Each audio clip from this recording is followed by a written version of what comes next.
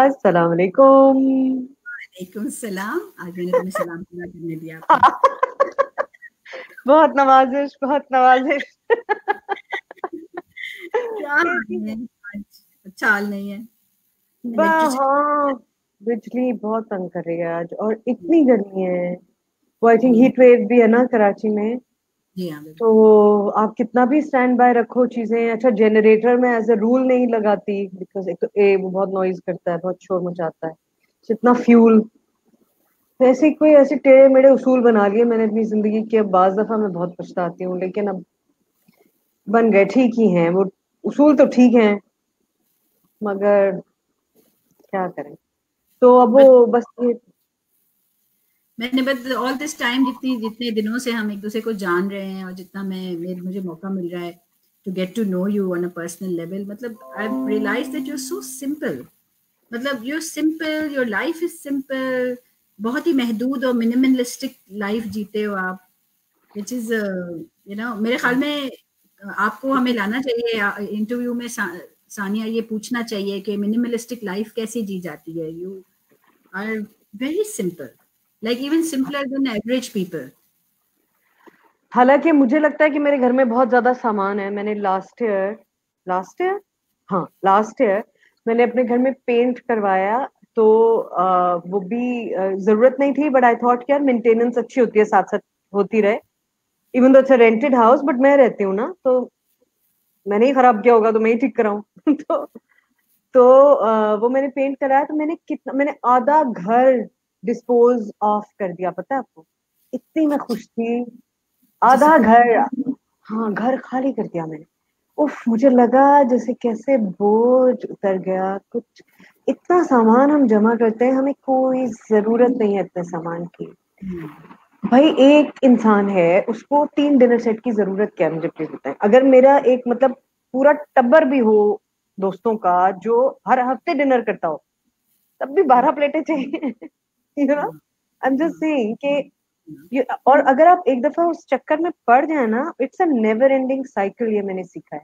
फिर आपको इसको मैच करने के लिए वो भी चाहिए फिर वो भी चाहिए फिर वो भी चाहिए फिर you know like goes on and on and on never ends तो वो मैं अब प्रैक्टिस कर रही हूँ हुआ नहीं है।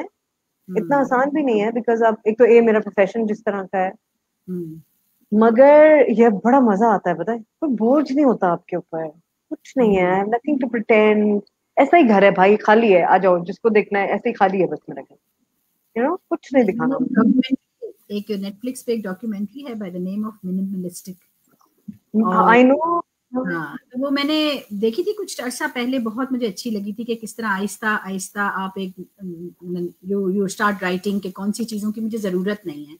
तो अगर कोई भी चीज़ आपने एक साल में इस्तेमाल नहीं की तो अब इसका मतलब आप कभी नहीं करोगे। तो वो जब मैंने दे, देखने के बाद फिर काफ़ी एक साल डेढ़ साल हो गया। बट देन मैंने मेट यू और जैसे जैसे हम बातें कर रहे हैं जैसे जैसे योर बातों बातों में बातें निकल रही हैं I am getting to know you तो मुझे पता नहीं कि वो मिनिमलिस्टिक डॉक्यूमेंट्री याद आती है। और सोची थी कि मे बी मे बी शायद सानिया ने भी यही चीज़ की है कि अपनी चीज़ों अपनी ज़िंदगी को आसान किया है। कि हम बेवजह हाँ हल्का। और लोग लोगों को ये बताना बहुत ज़रूरी है कि बीइंग समबडी के जिसको लोग देखते हैं कि एक सेलिब्रिटी है या टीवी एक्ट्रेस है लोगों के जहन में शायद पता नहीं क्या सोच होगी। लेकिन अगर आप अगर वेन यू कम जब जिस दिन आपका इंटरव्यू है उस दिन वाला पहलू बहुत ज़रूरी है लोगों को दिखाना कि ये सादगी जो है वो इसने क्या दिया है सानिया को। मैं जानबूझ के भी करती हूँ बाज दफ़ा। यू नो कभी जैसे नहीं भी अगर ज़रूरी नहीं भी है और मेरे पास बड़ी अच्छी साड़ी है मैं कहती हूँ नहीं नहीं पहन के जाऊँगी। बिकॉज़ ये आ, ये वो मैं दिखाना चाहती हूँ कि नहीं है ज़रूरत। इस अगर इस साड़ी की वजह से मुझे पसंद किया जा रहा है तो देर समथिंग रॉन्ग मेरी वजह से मुझे पसंद किया जाना चाहिए। मेरी वजह से साड़ी अच्छी लगे साड़ी की वजह से मैं अच्छी ना लगू। है ना और तब भी मैं देखती हूँ कि it's getting more and more just about that Facebook पे भी इंस्टा पे आप अपनी एक तस्वीर लगाएँ और आप एक बड़ी अच्छी कोई बात कोई आर्टिकल कोई यू नो मीनिंगफुल चीज़ लगाएँ। Nobody is going to read it. It's going to be a picture which bothers me you know? mm. it's going to be your your clothes or the way you're looking or or most of my pictures are character pictures तो ज़ाहिर है वो एक certain look के साथ होती है all that but even then it's always about the clothes तो हम इतने सुपरफिशियल होते जा रहे हैं इतनी लेयर्स हमने अपने ऊपर चढ़ा ली हैं। hmm. और ऑलरेडी हम एक ऐसे प्रोफेशन में हैं जिसमें लोग सिर्फ़ आपको यू नो फेस वैल्यू पे लेते हैं। तो कभी कभी वो जानबूझ के करती हूँ मैं कि नहीं नहीं करना। तो खैर hmm. बहरहाल वो एक अलग एक वो अपना चलता रहता है ना बैकग्राउंड में भी हर इंसान के बैकग्राउंड में भी तो एक चीज़ चल रही होती है ना। वो मेरा hmm. अपना एक ट्रैक चल रहा है। बिल्कुल एक्सट्रिंसिक वैलिडेशन एक्सट्रिंसिक लॉर्ड उम्र से बच्चों में हम ये चीज़ डालते हैं स्कूल में भी कि अनाउंसमेंट हो रही है कि फ़र्स्ट आया है फिर सबने तालियाँ बजाएँ फिर उसको स्टार मिला सर्टिफिकेट मिला मेडल मिला। हम इन चीज़ों को बहुत पॉजिटिव समझते हैं पॉजिटिव हैं भी। है नहीं कभी कभी कभी है। हाँ लेकिन हमारे पास कोई ऐसी क्लास नहीं होती कि जिसे जैसे इंट्रेंसिक हो जो। हमने इसी इसीलिए किरण में हमारा सैटरडे होता है इंट्रेंसिक सैटरडे इसमें हमारे एलिमेंट्री की स्कूल है first grade to five grade उनकी सारी जो एक्टिविटीज़ होती हैं, वो इंट्रेंसिक होती हैं। कि बच्चों को सिखाया जाता है अपने अंदर की आवाज़ को सुनना है आपको। और कोई अपलोड नहीं करेगा आपके लिए, कोई आपके लिए कहेगा वाह वेरी नाइस बड़ा अच्छा डिबेट किया कुछ भी नहीं। आपको अपने अंदर के अपलॉड को सुनना है कि आपका अंदर आपको क्या बोल रहा है। छोटे छोटे बच्चे होते हैं ब्लाइंड फोल्ड करते हैं, आवाज़ सुनते हैं अपने अंदर की, खामोशी इख्तियार करते हैं। तो कोशिश शुरू की है कि वो अंदर की आवाजों को सुन सके और बच्चे कभी कभार बोलते हैं कि मुझे अंदर से जो ना पानी की आवाज़ आ रही है। वो शायद साइलेंस साइलेंस रियली ब्यूटीफुल बहुत प्यारा प्रोग्राम है। उसको मजीद थोड़ा डेवलप करने की ज़रूरत है। न्यूली हमने ये शुरू किया है कोई पाँच छह महीने। तो बहुत मुश्किल होता है बच्चों को अंदर लेकर जाना बिकॉज़ वो बार बार ऐसे ऐसे आँख ना एक आँख खोल के टीचर को देख रहे थे टीचर मुझे देख रही है कि नहीं कुछ अच्छा किया है मेरे लिए ताली बजा दे हम कहते कोई ताली नहीं बजाएगा कोई आपको शाबाश नहीं आप अपनी आवाज़ तो या उसके ऊपर भी कभी इंशाल्लाह हाँ और इतने छोटे बच्चों के साथ करना is very it's very unique I think क्योंकि बड़ों के साथ तो आप करते हैं जैसे योगा में भी आप करते हैं। एडल्ट एजुकेशन में भी आप करते हैं। मैं अपने थिएटर वर्कशॉप्स में भी करती हूँ मगर सब बड़े होते हैं ना इतने छोटे बच्चे लेकिन आदत एक्चुअली उस वक्त से ही पढ़नी चाहिए आपको। दैट्स द राइट एज आज जो coming to the topic today कि ये जो हमने सोचा था शुरू से ही कि हम किस तरह से सीरीज़ को लेकर चलेंगे और हम हमने कहा कि नहीं इसमें सिर्फ़ एक औरत नहीं होती। इसमें हर जेंडर का इंसान जो है उसके अंदर मदरहुड हो सकती है। तो उसी वक्त जो आँखें बंद करके कुछ लोगों का ख्याल आया मुझे कि जिनको मैं जानती हूँ और अभी और भी बहुत ऐसे लोग हैं जैसे डॉक्टर गफार बिल्लो उनके बारे में मैं जब भी सोचती हूँ मुझे एक ममता की फीलिंग आती है। तो मैंने उनको कॉन्टेक्ट करने की कोशिश की मगर वो आजकल थोड़े से बिज़ी थे लेकिन उनको मैं ज़रूर लाऊँगी इस तरह। बिकॉज़ वो एक माँ की तरह है अपनी पूरी। हम उनको कहते तो यही है कि आप हैंड्स के बाबा हैं लेकिन वो हैं बिल्कुल माँ जैसे। बिल्कुल उसी तरह डॉक्टर अमजद साकिब हैं उनका भी अंदाज बिल्कुल इसी तरह का है वो भी किरण के साथ जुड़े हुए हैं। और उनका भी अंदाज बड़ा ममता वाला है। तो ये कुछ अफराद ऐसे हैं। फिर फिर मेरी अपनी इंस्टीट्यूट के अंदर ऑर्गेनाइजेशन के अंदर मैंने कुछ लोगों को खुद काम करते देखा है। मैंने उनका तरीका देखा है कि वो बच्चों के साथ उनका रवैया उनका स्टाइल उनका अंदाज और बच्चों का उनके साथ चुपकने का अंदाज। जैसे हम्म। जैसे शहद की मक्खियों की तरह उनके गिर्द और ये मर्द हजरात हैं। तो उनमें से हम तीन ऐसे लोग जिनको मैंने खुद अपनी आँखों से विटनेस हुए हैं उनकी मोहब्बत की। मैंने देखा है उनको कोई पाँच साल कोई छह साल कोई तीन साल मेरे साथ रहे। तो इसलिए मैंने कहा कि पहले हम उनको लेकर आए। तो आज भी अब्दुल जब्बार जो आ रहा है वो बिल्कुल बस बेटा ही है समझ लो बेटा इससे पहले कि जब्बार को बुलाएँ पता ही मैंने कब रियलाइज़ किया? एक प्रोग्राम हम्म। करती थी मैं माँ। हम्म। अच्छा। पता नहीं आपको याद है या नहीं उसमें मैं बहुत सारी मदर्स को इंटरव्यू करती थी और एक सेगमेंट था जिसमें हम सेलिब्रिटीज को इंटरव्यू करते थे। रिगार्डिंग द मदर्स तो वो फोकस अच्छा। ही वही था कि आपका आपकी मदर के साथ रिलेशनशिप मम्मी कैसी थी वगैरह। अच्छा। तो आसिफ साहब एक बॉलर थे एक पाकिस्तान क्रिकेट टीम में। हाँ, बहुत हाँ, मशहूर तो उनको भी हमने इनवाइट किया। हमें पता नहीं था हमारी रिसर्च टीम ने you know they didn't do it their work properly जब वो हाँ। आए तो मुझे पता चला कि उनकी तो वालदा थी ही नहीं उनको तो याद ही नहीं है। अच्छा। तो उन्होंने कहा कि आपने मुझे बुला तो लिया लेकिन मुझे तो अपनी वालदा याद नहीं है। तो मैंने कहा कि आ, तो आपको किसने पाला है? क्योंकि मेरे जहन में भी हमेशा से ये था कि माँ का ताल्लुक ममता का ताल्लुक या माँ होने का ताल्लुक पैदा करने से नहीं है बायोलॉजिकल वो नहीं। तो कहा मुझे तो मेरे अबू ने पाला है। मैंने कहा हम इसी के बारे में बात करेंगे। We'll talk about your father. That was the first time I spoke about a father as a mother, a male mother, you know, because वो जो और वो बिल्कुल ऐसे ही बात कर रहे थे उनके बारे में जैसे हम अपनी माओ के बारे में करते वो क्या रूटीन है वो क्या करते थे वो उनके लिए क्या कैसे उन्होंने उनको लुक आफ्टर किया है उनके टैलेंट को कैसे नर्चर किया। अरे मैंने कहा यार ये तो उस वक्त मुझे थोड़ा सा ये होना शुरू हुआ कि भाई साहब कोई ताल्लुक वालुक नहीं है जेंडर का। ये तो it is the way you are feeling towards अल्लाह सुबहाना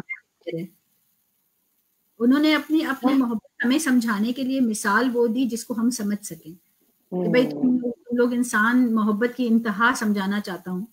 कि मोहब्बत की इंतहा तो तुम लोगों के लिए मोहब्बत की इंतहा प्रोटेक्शन की इंतहा फियरलेस होने की इंतहा इवन जलाल की इंतहा के जब माँ को गुस्सा आता है तो अपने बच्चे के लिए वो किसी चीज़ से भी लड़ जाती है। तो सब इंतहा समझाने के लिए हमें मिसाल वो दी जो हमें समझ आए। तो मेरा मेरी मोहब्बत माँ की तरह है। तो जेंडर क्या है? तो अल्लाह सुबहाना तआला का वो तो हम ऐसे अपने अल्फाजों में as a matter of speech बोलते हैं ही। हम्म। जेंडरलेस हाँ बिल्कुल। सो ये तो बहुत बड़ा कॉन्सेप्ट है। अब्दुल जब्बार को भी जब मैंने ये बात बोली आज जो अब्दुल जब्बार आ रहे हैं हाँ। क्या था? उसने कहा कि ये तो बहुत बड़ा कॉन्सेप्ट है। माँ का कॉन्सेप्ट तो बहुत बड़ा कॉन्सेप्ट है। मेरे लिए बहुत बड़ा ऑनर है कि आप ये बात कह रही हैं कि मेरे अंदर आपने ये देखा।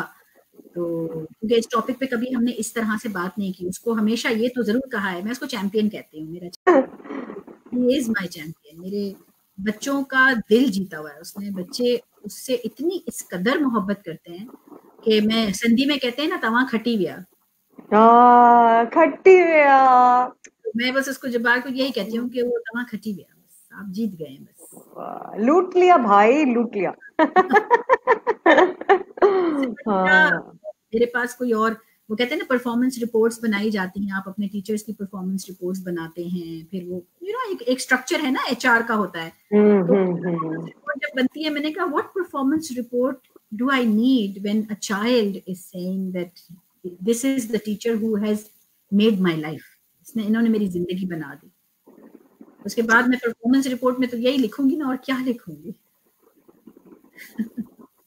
क्या फीलिंग है? पूछूँगी जब जब्बार से क्या फीलिंग है जब कोई बच्चा ऐसे कहता होगा। बिल्कुल पूछे उससे और कैसे कैसे उसको मैसेजेस बना के बच्चे भेजते हैं वीडियोस बना बना के भेजते हैं। बहुत मोहब्बत करते हैं। और ये क्योंकि वो खुद बहुत मोहब्बत करता है ना बहुत। उनकी पर्सनल लाइफ हाँ। में ना घर तक ले जाना घर तक चले जाना।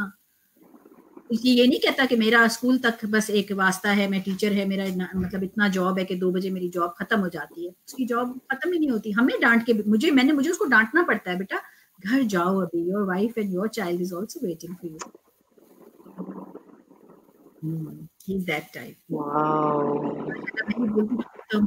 जाते हैं और दूसरा हम ये भी बता दें सब हमारे सुनने वालों को कि सानिया यूपीएस पे चल रही है इस वक्त। अगर किसी भी वक्त सानिया का सानिया अगर चली जाती आ जाएँगे फॉरन।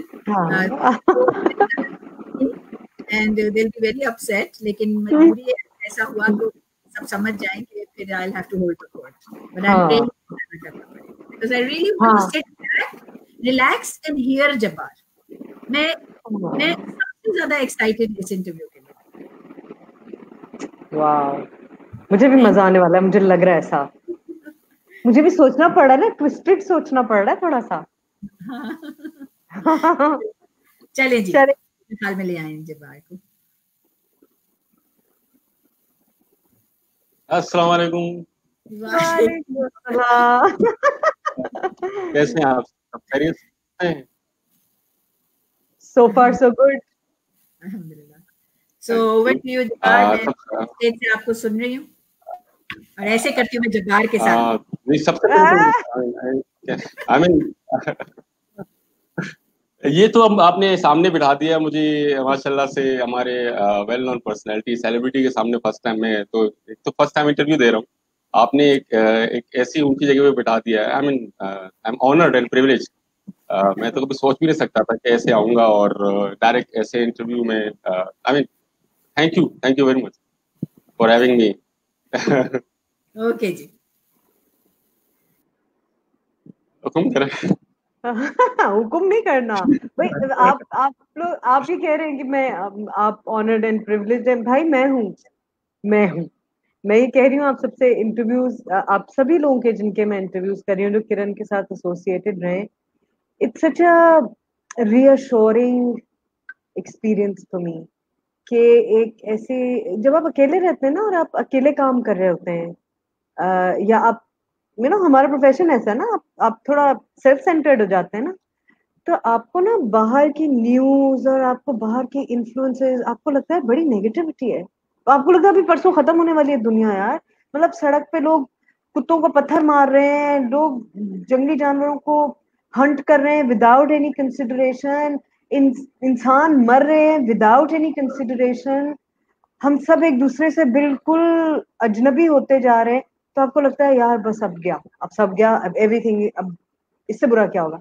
And then you meet an Abdul Jabbar and then you meet one Sabina then you meet Samia then you meet you know Sara and all these people and Madiha and you say okay it will be okay All is well, all is well. You know, it means a lot. It means a lot. It means a lot. अच्छा मुझे एक बात बताएँ कि आपने पढ़ा literature जी जी अंग्रेज़ी पढ़ा अंग्रेज़ी अंग्रेज़ी लिटरेचर पढ़ा बट आई मीन आपको uh, थोड़ा सा बैकग्राउंड बता दूँ लिटरेचर जो कोर्स बुक में मौजूद थे आपके यूनिवर्सिटीज में बुक्स वो पढ़ा। ठीक है? बाहर जाके खुद इंटरेस्ट लेके उस तरीके से नहीं पढ़ा जैसे पढ़ा जैसे पढ़ा जैसे पढ़ने का हक हो। हम्म, कि लिटरेचर इज़ ह्यूज सब्जेक्ट आप उसमें सब कुछ है। Mother of all the I mean subject literature के नीचे ही सब आते हैं ये सारे सब्जेक्ट जितने भी हैं। Uh, लेकिन जब uh, क्योंकि कंसेप्ट उस उस वक्त uh, जहन में ये था नहीं हमने सिर्फ़ I enrolled myself just to improve my English language and let me tell you in the first day first day of my university uh, the professor or lecturer told us if anyone in the classroom is here uh, कि वो अपनी अंग्रेज़ी improve करना चाहता है uh, हम्म, इस classroom में बैठ के। The door is open move. uh, और मैं- तो कंफ्यूज हो गया यार मैं कहाँ फंस गया? मैं तो आया था मैं अपनी अंग्रेज़ी इंप्रूव करूँगा। ये तो प्रोफेसर साहब कह रही है कि मतलब door is open we are not here to improve your language we are here to discuss the literature we are here to discuss different genres of literature तो मैं तो परेशान हो गया लेकिन मैंने हिम्मत पकड़ी। मैंने कहा अब तो आ गए हैं फंस गए करना पड़ेगा। तो बस कर लिया ऐसे तो आए क्यों थे आए क्यों थे? आई बता रहा हूँ ना कि I I chose this subject और department to improve my language to improve my language skills simply तो और कोई डिपार्टमेंट समझ में नहीं आया हमने कहा अंग्रेज़ी डिपार्टमेंट है चलो अंग्रेज़ी इंप्रूव कर लेते हैं because it's need of time हर जगह कन्वर्स कम्युनिकेशन स्किल्स जो हैं आपके ये मायने रखते हैं आप कुछ भी करना चाहते हो अंग्रेज़ी सीख लो The purpose, the purpose of not getting education. हाँ. And uh, and how far you have come from that? Like you're telling me the purpose of it was not getting education. It was just learning English, and they're not the same Yeah. things.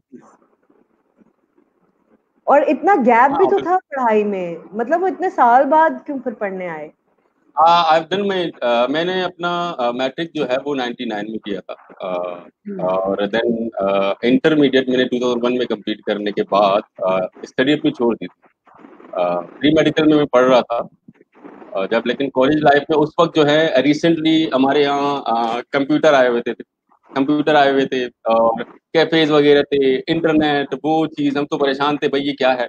कि कौन सा डब्बा है जिससे हम बात कर सकते हैं? वो एम नाम का कोई चैट सॉफ्टवेयर था, कोई याहू बैठ के रात को उस पर टाइम पास करते थे, और दो साल ऐसे गुजरे कि इंटर तो हो गया, लेकिन परसेंटेज इतनी नहीं बनी कि डाउ मेडिकल वाले अपने एप्लीकेशन फॉर्म मुझे दे दोस्त थे उन्होंने कहा इम्प्रूवमेंट के जहाँ आप इम्प्रूव कर सकते हो लेकिन नहीं किया। अबू ने बुलाया अपने पास। अबू यहाँ नहीं थे। अबू बेसिकली ईरान में होते हैं। हम्म। हमारा बैकग्राउंड जो है वो वो ईरान के सूबे बलुस्तान से है। तो हम्म। वहाँ पर गए तो अबू ने कहा ठीक है जो कुछ पढ़ लिया बहुत पढ़ लिया। And I was the one I was the first person in my family to have this level of education वरना तो पीछे कोई था ही नहीं। तो पढ़ाई का कॉन्सेप्ट था ही नहीं। हाँ, हाँ पढ़ाई का कॉन्सेप्ट तो था ही नहीं बस वो मिडिल पास करके इंटर पास या कम से कम मैट्रिक भी शायद कोई था। नहीं था मैट्रिक थे तो बस वो अपने छोटे मोटे कारोबार पे लोग बिज़ी हुआ करते थे। कोई दुकान लगा ली कोई इम्पोर्ट एक्सपोर्ट कर लिया अपने काम पे लग जाते थे। एजुकेशन की कोई सोच नहीं थी। देन यूजुअली uh, हमारे फैमिली में बहुत सारे ऐसे लोग थे जो कंपेयर करते थे। वो देखो उसने ये पढ़ लिया उसके पास क्या है? इसने नहीं पढ़ा तो वो बिज़नेस में कितना कामयाब है क्या है? मतलब ये चीज़ें नॉर्मल uh, सी अब हालात जो है वो सुधर गए हैं। अब uh, समझते हैं कि एजुकेशन जो है एक अहमियत रखती ये था तो पढ़ाई छोड़ने के बाद आप अप्पा ने कुछ पैसे दिए और बिज़नेस करना स्टार्ट कर लिया। इतने सारे पैसे एक साथ देख के अपने आप समझना शुरू किया कि भाई पैसे हैं हमारे पास। I mean two thousand one and two में मोबाइल इतना आम नहीं था। मोबाइल इतना आम नहीं था मोबाइल लेके घूम रहे और जवानी थी। फुल शो ऑफ़ थे शो हुआ ये कि पाँच हाँ हाँ। पाँच छह सात साल काम करने के बाद बैठ गए थोड़ा सा। फिर आए यहाँ कराची में दोबारा आए अपने सिस्टर की शादी पे। वहाँ पे हुआ कुछ ये कि अचानक से पता चला कज़न है हमारे कि वो मुझे कहते हैं कि यार चलो एडमिट कार्ड लाते हैं। एडमिट कार्ड के फॉर्म भरते हैं मेरे रजिस्ट्रेशन करवाइए। एडमिट कार्ड के फॉर्म भरते हैं आ, मैं बीए करने जा रहा हूँ। तो मैंने कहा यार अच्छा तो आप बीए करने जा रहे हो। ऐसा कैसे हो सकता है, वो नॉर्मली जब हम स्कूल में तो वो तीन साल, तीन स्टैंडर्ड मुझसे पीछे था क्लास में। कहा, यार, आप ये कर रहे हो तो मैं ऐसे बैठ जाऊँ। चैलिसी में आके मैंने कहा, चल, मैं भी अपने फॉर्म भरता हूँ, मुझे भी करना है बी ए अब be as an external candidate मैंने रेगुलर किया नहीं क्योंकि मुझे पता नहीं था कि शादी के बाद शायद दोबारा जाना पड़े ईरान। तो मैंने कहा, चलो, एक चक्कर तो लग जाएगा, एक हफ़्ते के लिए बंदा के पेपर ही दे देगा, कुछ सेल्फ स्टडी करके। तो ऐसे जब मैंने बीए सेकेंड ईयर कंप्लीट करने के बाद जब रिज़ल्ट हाथ में आया देन आई रियलाइज़ कि वहाँ पर असल में ईरान में there was a need I mean their medium of instruction and their official language is Persian ठीक है? Uh, लेकिन वो बहुत वैल्यू देते हैं इंग्लिश लैंग्वेज को और वहाँ से प्रेशर आया मेरे ऊपर कि आई मीन वो लोग कहते थे go go and improve your language and you can build an institute और ऑर्गेनाइजेशन जिसमें आप बच्चों को इंग्लिश पढ़ा सकते हो या पर अपना एक कारोबार सेटअप कर सकते हो। अपनी लैंग्वेज को इम्प्रूव करके आओ उस पर वर्कआउट करके आओ। तो इस सोच पे मैं आके मैंने लिटरेचर पे लिटरेचर में एडमिशन ली। पता चला मैम कह रही है कि we are not here to improve your language अरे भाई मैं वहाँ से यहाँ आ गया हूँ। ओ ओ अच्छा लेकिन ये तो मतलब मैं सोच रही हूँ कि जेलसी में ये तो बड़ा अच्छा हो गया वैसे नहीं? क्योंकि जेलसी में किसी डायरेक्शन में भी जा सकते थे ना? जेलसी में तो तुम ये कह सकते थे मैं कारोबार बढ़ा लूँ मैं बड़ी गाड़ी ले लूँ मैं घर में ये सामान ले आऊँ। बट वो कुछ ऐसा अच्छा हुआ खुदा का करना कि वो बीए करने ही चले गए भाई। उन्होंने कहा नहीं इससे तो आगे ही जाऊँगा। तो ये तो हाँ। मैं कह रही हूँ अच्छी बात हुई ना? कभी बिल्कुल बिल्कुल बिल्कुल। अभी में बुरा सेंटिमेंट मतलब काम आता है। हाँ। अच्छा उन्होंने जेलिसी को पूरा समझा जाता है। बाद औकात ये पॉजिटिव भी काम कर जाता है। इन योर केस तो कर गया भाई। बहुत बड़ी उनकी हाँ। मेहरबानी कि उन्होंने बीए किया ताकि आ, आप लिटरेचर पढ़ अच्छा उन्होंने बीए जो किया है मैंने आ, आ, मज़े की बात ये कि मेरे मार्क्स उससे बहुत अच्छे हैं। तो पहले रोल किया था और उन्होंने फिर हाँ। बाद में अपनी एजुकेशन छोड़ दी मैंने कंटिन्यू कर लिया बस वो ये होता है पता है? वो कहीं कोई दरवाज़ा खोलना होता है तो एक क्यू देते हैं लम्ही आपको। पकड़ हाँ। लिया क्यू तो ठीक है। नहीं पकड़ा तो बस वेस्टेड अपॉर्चुनिटी है वो। है ना? बिल्कुल। अच्छा फिर अच्छा तुमने लिटरेचर कर लिया ग्रेजुएशन कर ली one more thing one more thing क्योंकि लिटरेचर मैंने I have done my literature from बोलना नहीं चाहिए।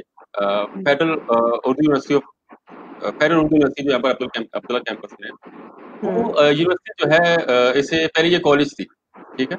और 2001 टू टू को जो है इसको यूनिवर्सिटी का दर्जा दिया गया था यूनिवर्सिटी बनाया गया था। I have applied my in Karachi university लेकिन वहाँ पे मैं रिजेक्ट हो गया था लिटरेचर में क्योंकि गैप हम्म। बहुत ज़्यादा था एंड वहाँ पे मुझे एडमिशन एंड लिंग्विस्टिक्स मैंने इसलिए किया कि मुझे यूनिवर्सिटी ऑफ़ कराची की एक डिग्री चाहिए थी।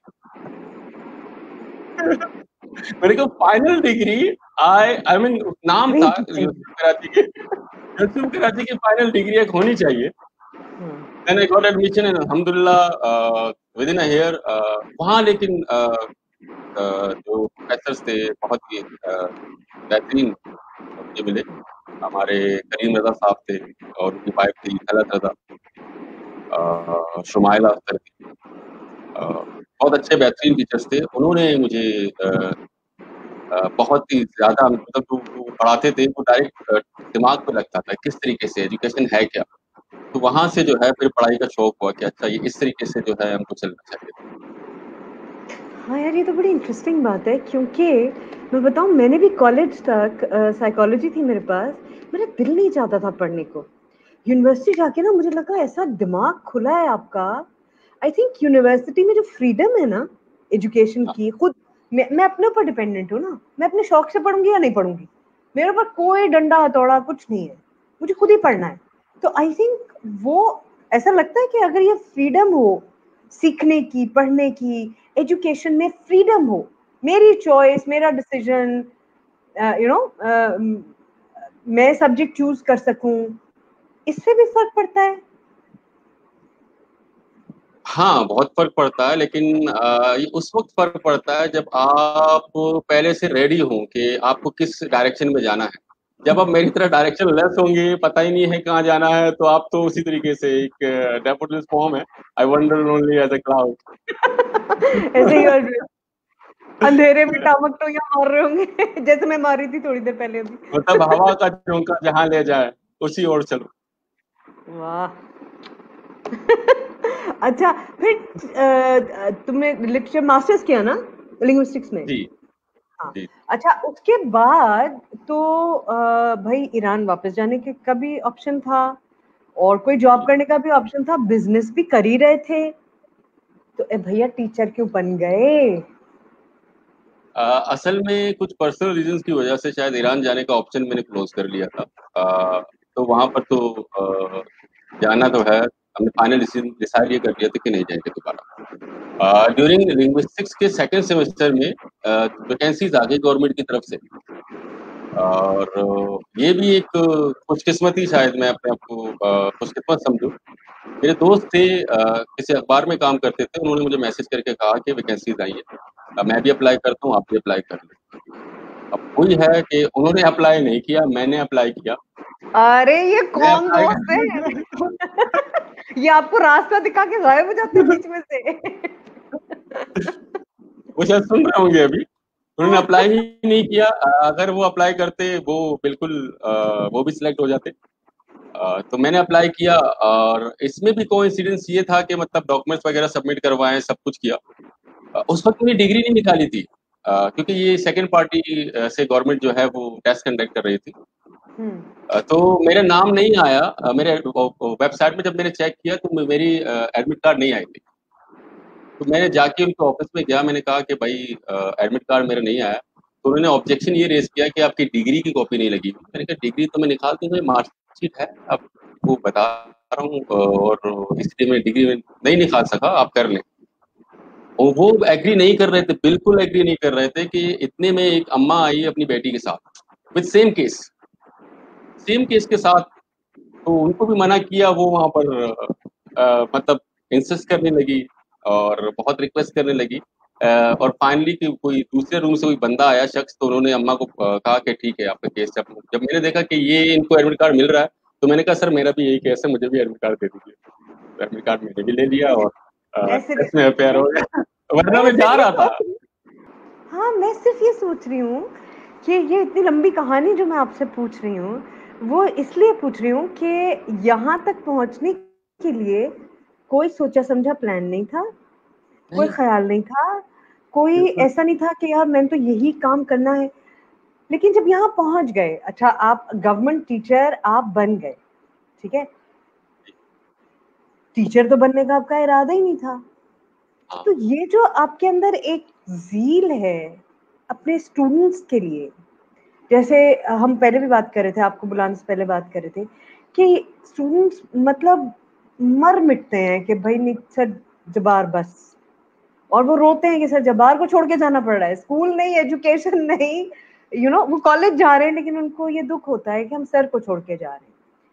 ये यहाँ तक कैसे पहुँचे? मतलब टीचिंग में ये अप्रोच कहाँ से आई? Because you had not set out to be a teacher हाँ। यस ऑब्वियसली अब आई मीन जो बच्चों का मामला है, वो तो बच्चे ही बेहतर जवाब दे सकते हैं, लेकिन लेट मी कनेक्ट इस पूरे सिनेरियो को बनाता हूँ। मैंने appointed as a government teacher तो मेरी एक नौकरी जो है अपने एरिया में, पीछे एक स्कूल में उन्होंने मुझे अपॉइंट किया। तो वहाँ कुछ भी नहीं था। वहाँ पर literally we were thirteen teachers तेरह टीचर्स थे हम असेंबली में मॉर्निंग की जो असेंबली होती है, और सामने हमारे असेंबली में सिर्फ़ चार स्टूडेंट्स खड़े थे।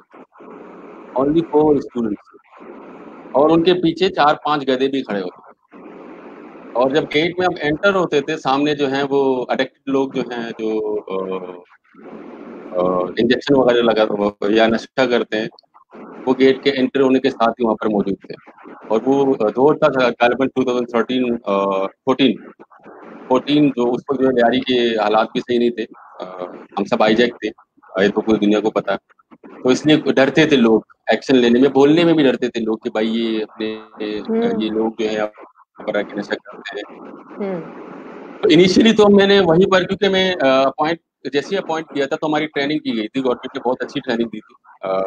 हमें तकरीबन 40 दिन की ट्रेनिंग दी थी। तो उसके बाद हमें फाइनली उन्होंने कहा था कि will come and check your will come and observe your classes और सारी चीज़ें हम आपकी ऑब्ज़र्व करेंगे तो प्रॉपर तरीके से। तो बी रेडी और आपको ईमानदारी के साथ मतलब अपने काम तो अपने काम तो रेडी है, लेकिन जब स्कूल में गए वहाँ पर पढ़ाने वाले, पढ़ने वाले ही नहीं है तो मैं तो परेशान हो गया, भाई यहाँ पर तो ये हालत है। यहाँ पर हम कैसे मतलब आपके पास अगर आप ट्रेनिंग ट्रेनिंग लेके आए हैं, आपके पास कुछ है डिलीवर करने के लिए, लेकिन वो प्रोडक्ट ही नहीं है जिसको आप पढ़ाना चाहें, वो बच्चे ही नहीं है स्कूल में तो आप कैसे करेंगे? And the school was Sindhi school was Sindhi medium ठीक है तो उसको शॉर्ट करने में ये है कि एक दिन मैं तो हर रोज इनसे बहस करता था कि भाई कुछ कर लो आप चलो एडमिशन ले लेते हैं हम अगर इंग्लिश में आप इंग्लिश मीडियम नहीं करते, उर्दू मीडियम कर लेते हैं। एक मरतबा मैं अपने दोस्त के साथ इनके डी ऑफ़िस में भी गया था, वो बहुत ही पॉजिटिव रहे मेरे साथ। उन्होंने हेडमास्टर को फ़ोन किया कि जो ये बच्चा जो आया, जो भी कह रहा है, उर्दू मीडियम के लिए अगर ये बच्चे इनरोल करना चाह रहा है, इसको छोड़ दो। With in a week we enrol thirty students हमने तीस बच्चे जो है इनरोल किए अपने स्कूल में। तो वहाँ के लोग लेकिन कुछ शायद क्योंकि ये अभी जो मैं जिस तरीके से बात कर रहा हूँ, छः सात साल पहले ऐसे नहीं था शायद। बहुत अग्रेसिव था अपनी बात मनवाने के लिए कुछ आ, मतलब जो नहीं करना चाहिए जो नहीं कहना चाहिए ऐसी बातें भी कहा जाता था तो लोग नाराज़ होते थे। तो वो उन इसी वजह से शायद नाराज़ हो गए होंगे। तो उस वक्त एक सुपरवाइजर था हमारे पास वो आके हमारे स्कूल में पुराने स्कूल में उन्होंने मुझे कहा कि आपकी एक और ट्रेनिंग हो रही है डीसीटीओ स्कूल में आपको बुलाया गया है आप जितने भी नए टीचर्स हैं आपकी ट्रेनिंग हो रही है डीसीटीओ स्कूल में जाके अपने आप को वहाँ पर इंट्रोड्यूस करो। मैंने लियारी में रहते हुए मैं इस एरिया में कभी आया ही नहीं था। इस इतना हाँ क्योंकि हम अंदर अंदर के साथ रहते हैं ना। हम्म। तो मैं यहाँ पर हमारे स्कूल के बराबर डिस्ट्रिक्ट के बराबर एक गर्ल्स स्कूल है मेरे यू मैं हम्म। वहाँ गया। वहाँ मुझे पता चला कि डिस्ट्रिक्ट ये नहीं है पीछे जाना पड़ेगा आपको। तो उन्होंने मुझे एड्रेस बताया मैं यहाँ आया। तो वहाँ यहाँ पे आके मुझे हमारे इस जा, जो अभी स्कूल बनी हुई है डी ब्लॉक उस वक्त नहीं बना हुआ था। हम मैं आया मैं और एक और टीचर थी मिस शाहाना। हम हमें भेजा गया ऊपर एक रूम में एडमिनिस्ट्रेशन रूम प्राइमरी में थी। मैम बैठी हुई थी मैम सबीना वहाँ पर। हमें भेजा गया था ट्रेनिंग के लिए। ठीक है उस वक्त दो नौजवान लड़के थे शहरोज और अरबाब। उन्होंने रिसीव किया उन्होंने मुझे बिठाया। और एक कायनात नाम कायनात नाम की भी एक लड़की थी टीचर थी फैसिलिटेटर उन्होंने कहा कि भाई यहाँ पर कोई ट्रेनिंग नहीं हो रही। आपको इंटरव्यू के लिए बुलाया गया बुलाया गया है। आपकी इंटरव्यू होगी, फिर बाद में आपको इसी स्कूल में हम बुलाएँगे। हमने कहा, ठीक है भाई, वहाँ पे वैसे ही हम बेजार है, चलो देखते हैं क्या होता है। जब हम एंटर हुए रूम में तो देखा एक डिफेंस वाली मैडम चश्मा यहाँ पे लगाई हुई, सामने दो शख्स बैठे हुए हैं। बातें कर रही है मैं तो हैरान हो गया यार ये कहाँ कहाँ फंस गए? डिफेंस वाली मैडम। तो ये वो जो इंस्पिरेशन की आप बात कर रही है ना I mean after two three ma'am ने कुछ पूछा नहीं कुछ दो तीन सेंटेंसेस पूछे कि कहाँ से हो कब अपॉइंट हुए हो तो लिटरली मैडम मैम सबीना खुद उठी अपनी जगह से और पूरे स्कूल में एक एक जगह मुझे लेके गई और एक्सप्लेन करती गई कि हमारा प्लान ये है। हम यहाँ पर ये प्री का सेक्शन बनेगा, इस तरीके से बनेगा। यहाँ लाइब्रेरी होगी प्राइमरी का सेक्शन मैं अक्का बक्का रह गया उस वक्त। यार ये क्या हो क्या रहा है? तो यहाँ पर डी ब्लॉक में आके एक एक रूम बता रही थी कि यहाँ पर हम जिम्नेजियम बनाएँगे, यहाँ मैथ्स बनाएँगे, यहाँ हम आईटी रूम बनाएँगे। मैंने कहा, एक खातून जो कि शायद इस कम्युनिटी की नहीं है। मैं सोच पे पड़ गया, बहुत गहरी सोच पे पड़ गया वो यहाँ पर आके हमें सर्व करना चाह रही है। मुझ जैसे जो डायरेक्शन लेस लोग थे, जिन्होंने कभी एजुकेशन को इतना सीरियस लिया नहीं वो डायरेक्शन देने आई है हमें। क्यों हम पीछे रहे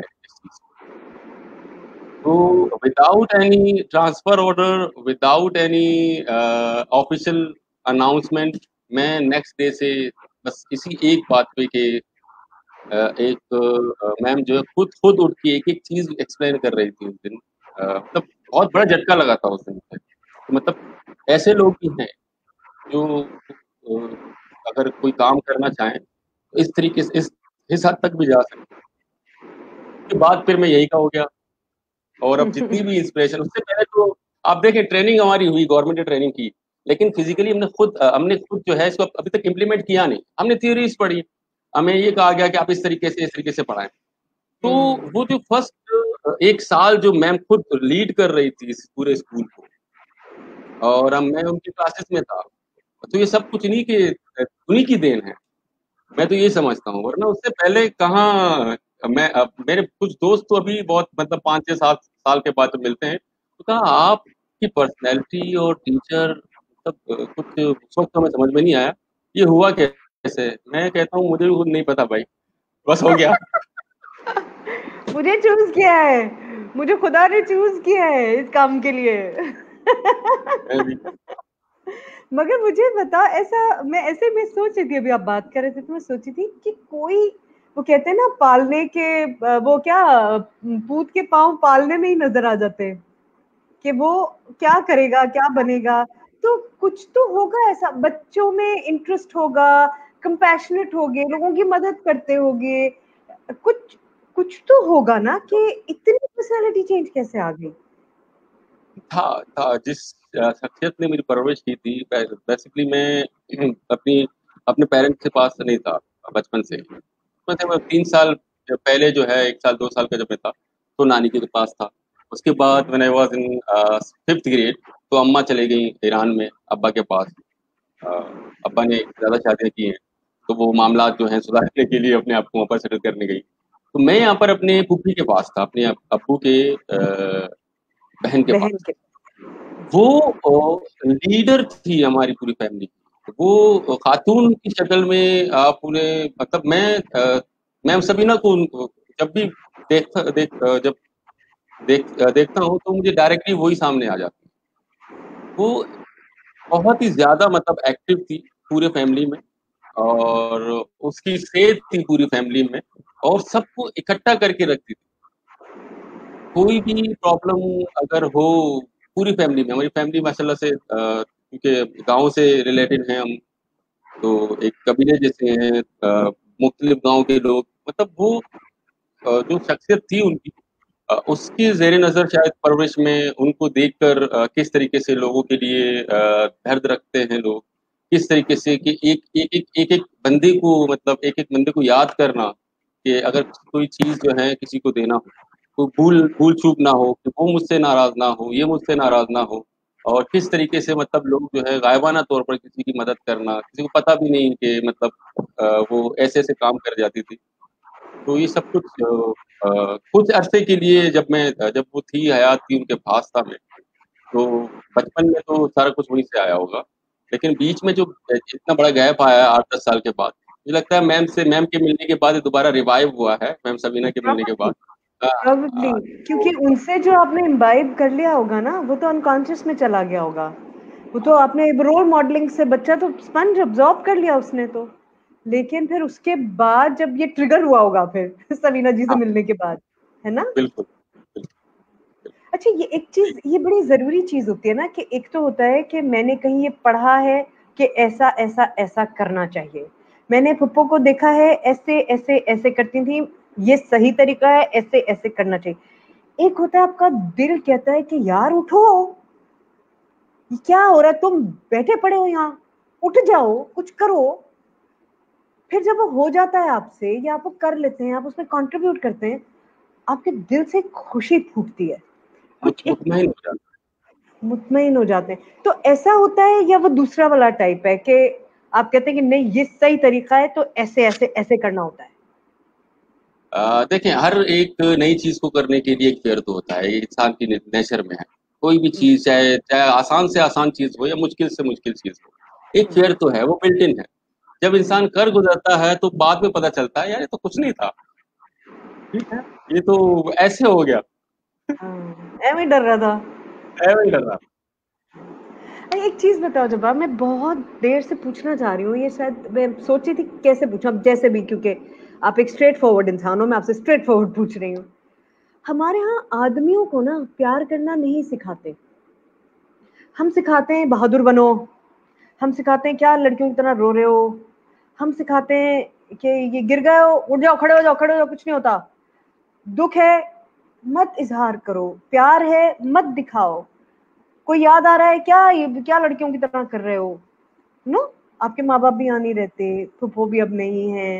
आई एम जस्ट थिंकिंग कि ये जो आपका इतना दिल खोल के इजहार करना है this taking on of love for other people आप बच्चों के बता रही थी मुझे सबीना के वो, भाई वो तो बच्चों के घर पहुँच जाता है।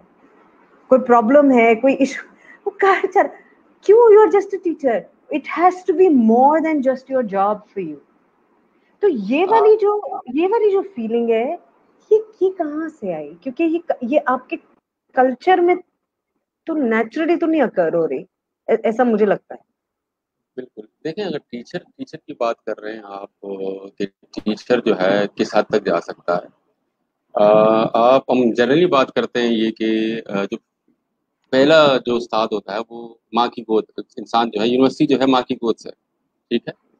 अब अगर मैं इसको ऐसे समझाने की कोशिश करूँ कि टीचर में जब तक ममता वाले इंग्रेडिएंट या एट्रीब्यूट्स ना हो, क्योंकि टीचर का जो प्रोडक्ट है, वो एक इंसान है, जीता जागता, जो सोचता है, जो बोलता है, जो सुनता है, जो एहसास रखता है।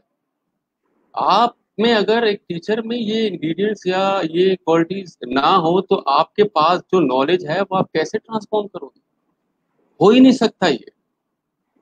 आप सपोज़ एक शेफ की अगर एग्जांपल लूँ आई डोंट नो एग्जांपल आ रही है I don't know it's fits or not लेकिन आ गई है चलो दे देते हैं। शेफ हम्म। के पास दो चीज़ें हैं। एक तो इंग्रेडिएंट्स की लिस्ट होती है दूसरा स्टेप स्टेप्स की कब जो है क्या चीज़ मिक्स कर रही है ठीक? है लेकिन सबसे अहम चीज़ जो शेफ के लिए जो ममता का काम करती है ना, वो फायर है, आँच। कि कब किस वक्त आँच धीमी करनी है, कब किस वक्त आँच तेज करनी है आग को, किस तरीके से मोल्ड करना है, किस तरीके से मतलब फाइनली जो है हम कोई चीज़ पकाई जा सकती है।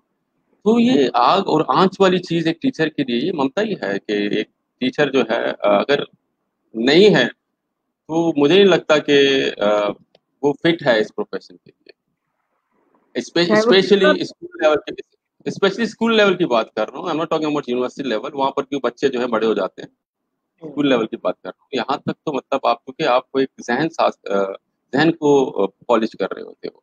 और अब जब तक ये आपके पास ये क्वालिटी या ये चीज़ अगर नहीं है आप मतलब बैगेज की बात करते हैं नॉर्मली कि एक टीचर जो है वो अपने बैगेज को जो है क्लासरूम के अंदर ना ले हम माँ क्या करती है? अपनी परेशानियों को बच्चों के सामने ज़ाहिर करती है? नहीं। तो यही है कि मतलब ये, ये चीज़ें यही से आती हैं।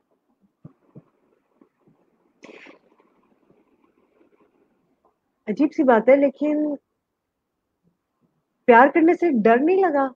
यार मैं अपना इतना हिस्सा इतना सब कुछ मैं इन बच्चों को दे रहा हूँ मैं अपना दिल खोल रहा हूँ। ये यार बैकफायर ना कर जाए कहीं। ऐसा ना हो कि मैं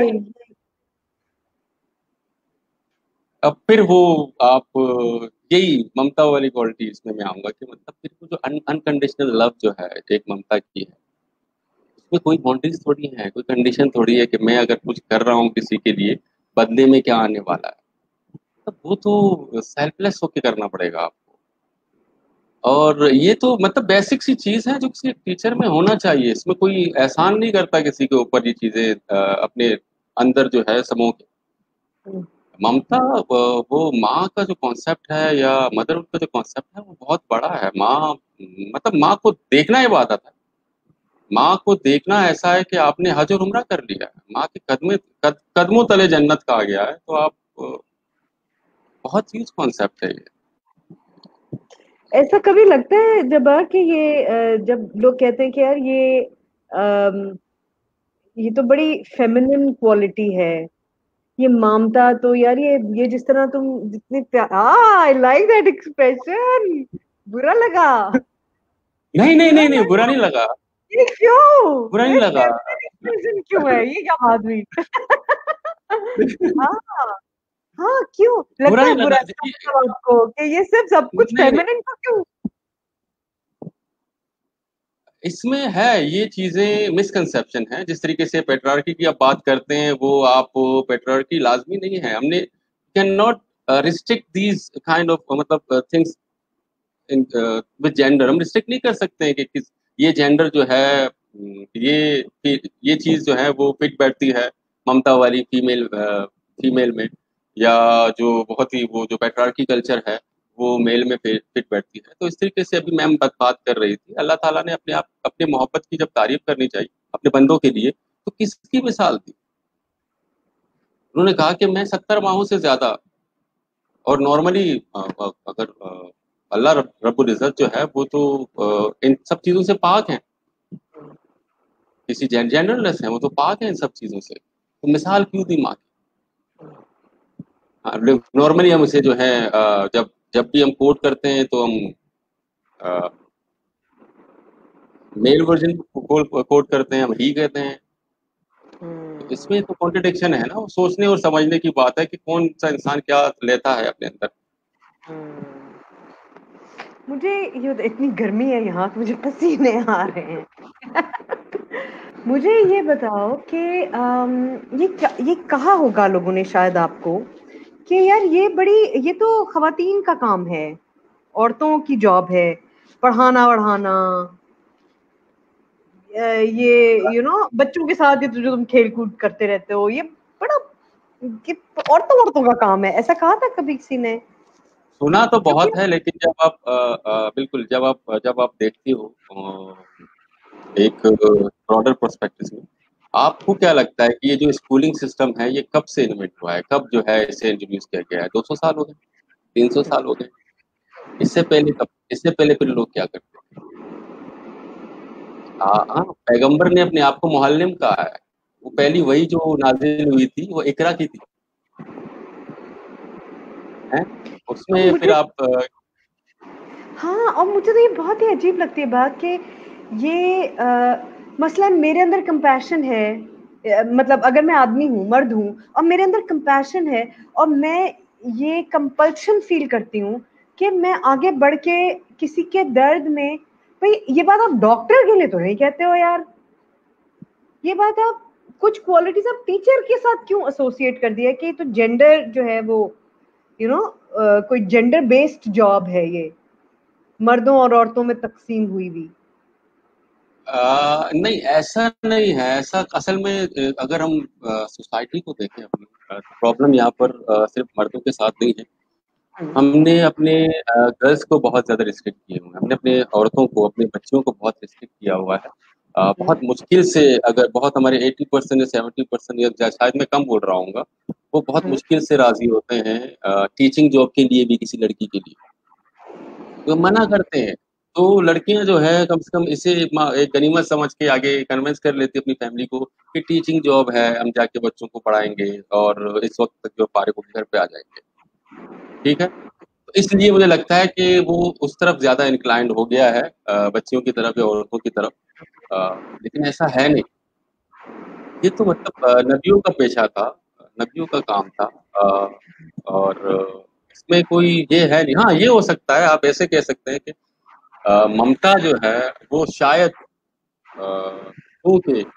डायरेक्टली कनेक्टेड है लिंक्ड है, जो एसेंस है उसकी, वो औरत से है। ठीक है? माँ एक औरत को कहा जाता है। और औरत जो है वो उसको यूनिवर्सिटी कहते हैं पहले बच्चे बच्चे बच्चे सबसे पहले जो है, औरत है। इसलिए कहा जाता होगा कि ये इस इस तरफ़ जो है, ज़्यादा झुकाव है इस प्रोफेशन और लोग शायद इसलिए कहते हैं कि ये misconception is Ah, I think I think it's more about who wants to extend themselves, who wants to impart that love and compassion and information and knowledge and है ना आजकल तो आई मीन टीचर की तो definition ही change हो गई है ना तो हम तो अब तो टीचर कहाँ हैं हम जो टीचर्स थे जो उस्ताद पहले हुआ करते थे आ, उनकी बातें उनका उनके अंदाज गुफ्तगु जिस तरीके से हमने तो अपनी लाइफ में भी नहीं देखे क्योंकि अपनी रिसेंटली दौर के इसी इंडस्ट्रियलाइजेशन की पैदावार है। वो जो अंदाज है वो वो चलना उठना बैठना वो तरबियत देना वो तो एक अलग चीज़ हुआ करती है। आजकल मैंने अपने आप को कभी टीचर समझा ही नहीं। मैं बच्चों के साथ एक स्टूडेंट हूँ। क्योंकि मुझे ये एक चीज़ अभी महसूस करता हूँ कि जब मैं पढ़ता था कुछ भी जब मुझे पढ़ाया गया था मुझे समझ में नहीं आती थी। अब जब मैं पढ़ा रहा हूँ तो अब समझ तो में आ रही है कि अच्छा ये कॉन्सेप्ट ये है।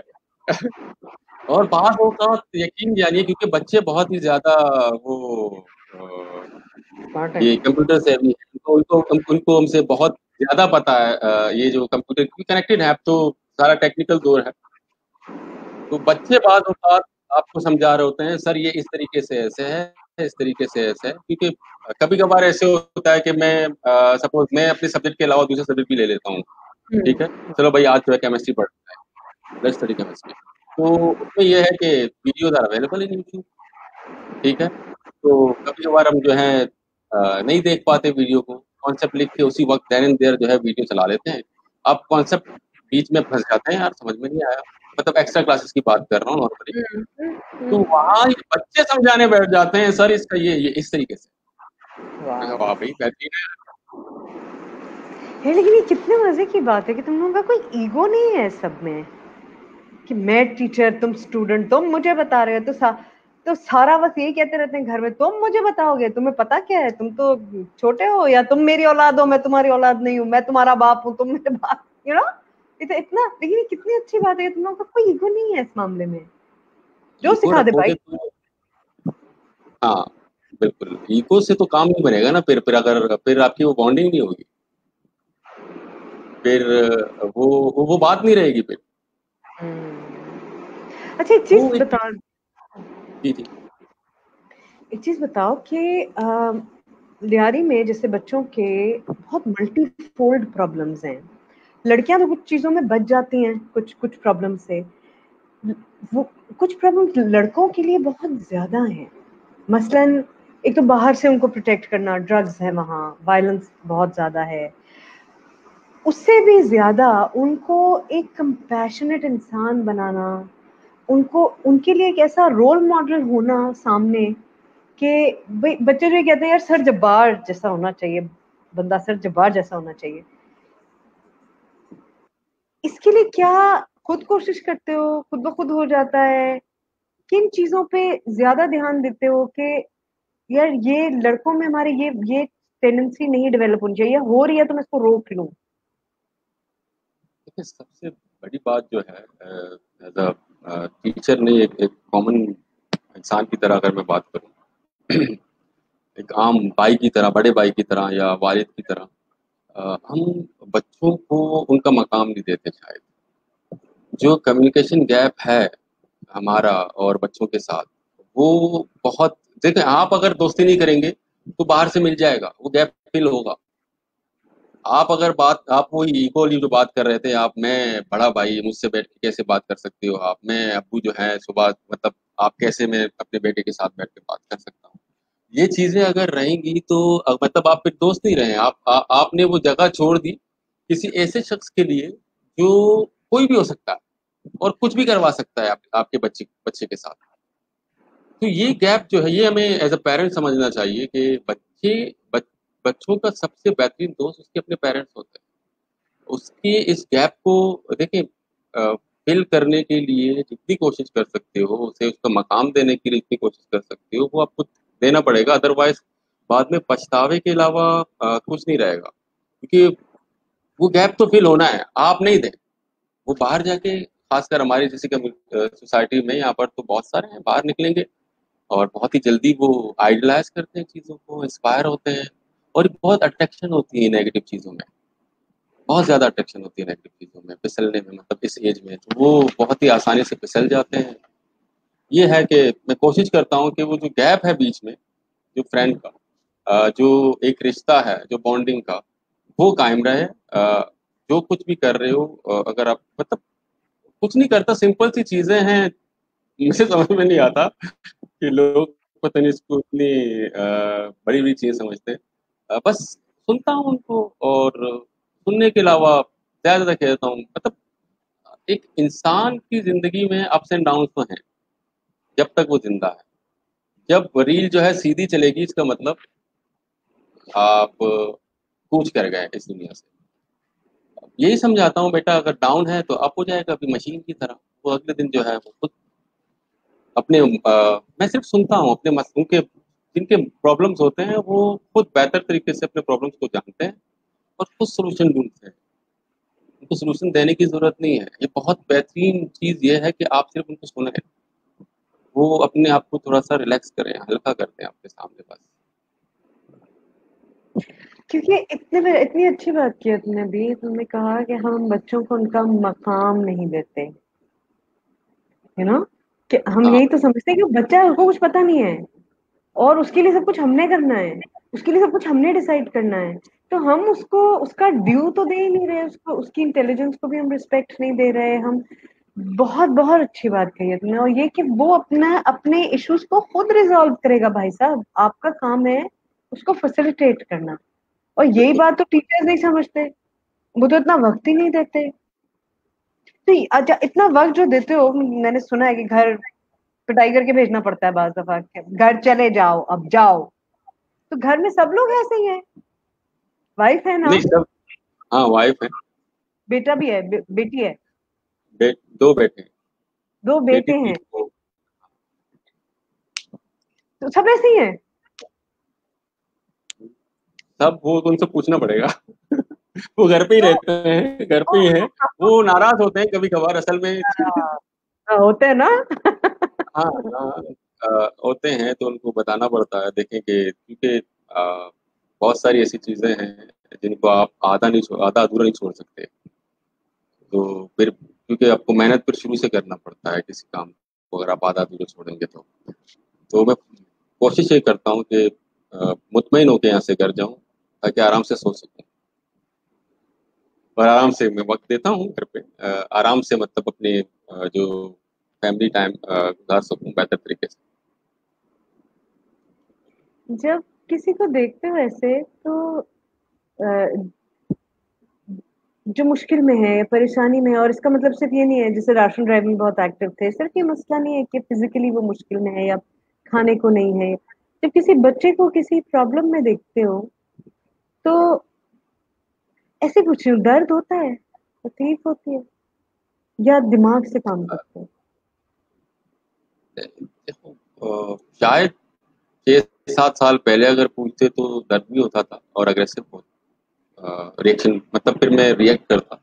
अभी चूँकि बहुत कुछ सीखा हूँ हमारी अम्मी बैठी हुई है बैकग्राउंड में उनसे। रिएक्शन रिएक्शन के बजाय रिस्पॉन्स करता।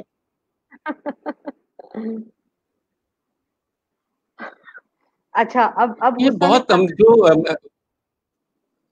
गुस्सा आता है लेकिन चैनलाइज करने की कोशिश करता हूँ, क्योंकि ये जो कॉन्सेप्ट है जो मैम ने इंट्रोड्यूस करवाया था सारा के साथ mental health department mental wealth उसने बहुत कुछ दिया हमें, किस तरीके से मतलब जो नेगेटिव फीलिंग्स है ना, उनको भी ठहर के इंजॉय करने का मतलब जो कॉन्सेप्ट है, कि वो है आपके साथ। उससे आप आप स्केप नहीं कर सकते, आप स्केप करते, कर नहीं सकते, आप कब तक भागेंगे? आप भागेंगे तो वो बढ़ते जाएँगे पायला होते जाएँगे और एक एक दिन आएगा जो वो फिर एक वॉल्कनो की तरह जो है ब्रस्ट हो जाएगी। हाँ। तो ये चीज़ें इसी यहीं से सीखी हैं स्कूल से ही सीखी हैं। थैंक यू मैं आ, सारा अगर देख रही हैं नहीं देख रही मैं बहुत शुक्रगुजार हूँ कॉन्सेप्ट जो लाए मतलब जो इससे पहले तो आ, वो एक नॉर्मल लैंग्वेज में कहते हैं ना दे मार साढ़े चार हाँ ऐसा सबके साथ होता है वैसे, मेरे साथ भी था।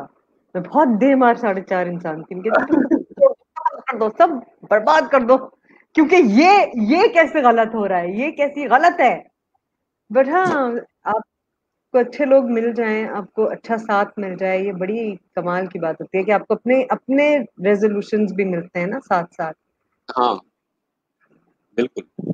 बिल्कुल। और ये साथ और मतलब आपकी इन्वायरमेंट और आपकी जो जो आपके साथ कनेक्टेड लोग हैं उससे आप सीखते हो। मैम अक्सर बात करती है कि इंसान की जो ब्रेन है वो रीवायर्ड होती है। सोच जो है वो रीवायर्ड होती है। तो शायद उस प्रोसेस में हूँ अभी मैं रीवायरिंग के अच्छा जो हमारा बिहेवियर है और ये दे मार साढ़े चार ये सब ये हम कल्चरल है? या ये हम लोग की अपनी वो इसमें मतलब हम नहीं, मैं तो नहीं हूँ। लेकिन तुम लोग आदमी हो तो मर्द हो तो ये जब, और फिर इन्वायरमेंट में सब इसी तरह देख रहे हैं कि भाई हर चीज़ का रेजोल्यूशन जो है वो वायलेंस है या पावर है तो वो हमारा, हमारी अनकॉन्शियस लर्निंग बन जाती है या ये देखिए, ये इंसान मुझे लगता है कि पढ़ के इतना नहीं सीखता, जितना देख के सीखता जो विजुअल विजुअल लर्निंग जो होती है हम स्कूल में बच्चों को पढ़ा रहे होते हैं वो तो एक अलग चीज़ है।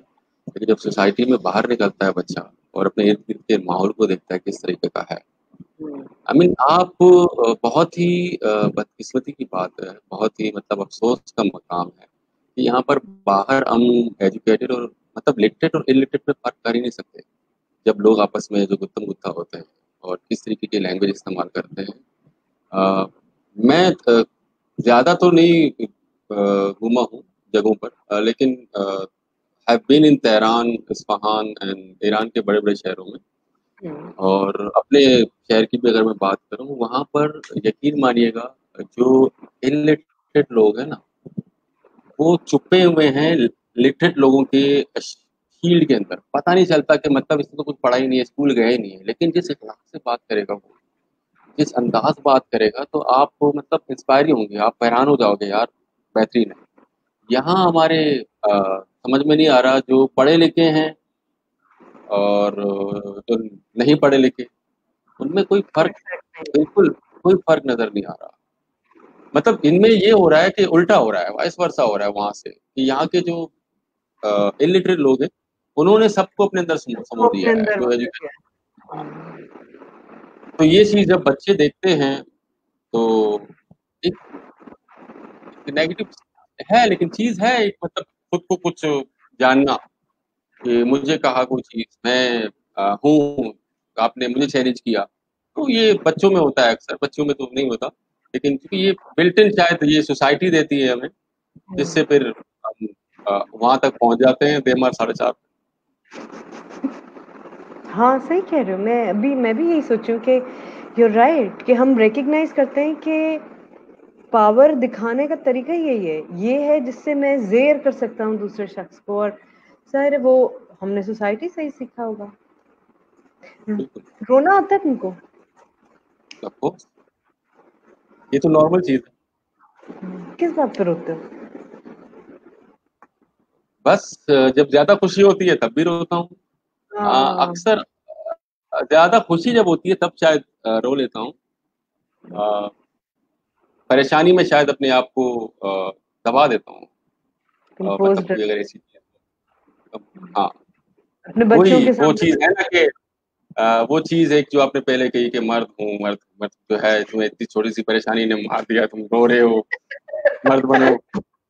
वो चीज़ वो चीज़ तो है हाँ वो चीज़ तो है उसे आप नहीं निकाल सकते इतनी आसानी से। That's really sad. मैं सोचती हूँ कितना इतना प्यारा लड़का इसको आप कैसे ये बता सकते हैं कि यार तुम रो नहीं सकते? तुम इतना कंपैशन दिल में इतना प्यार इतना सब आप उसको कह रहे हैं यार तुम ऐसे करोगे तो तुम मर्द हो ऐसे करोगे तो मर्द नहीं हो। ये क्या ये ये है। कैसे हम कैसे ले सकते हैं अपने मर्दों से ये हक के वो महसूस करें वो इजहार करें? हम अपने मर्दों से ये कैसे हक ले सकते हैं? जुल्म है ये।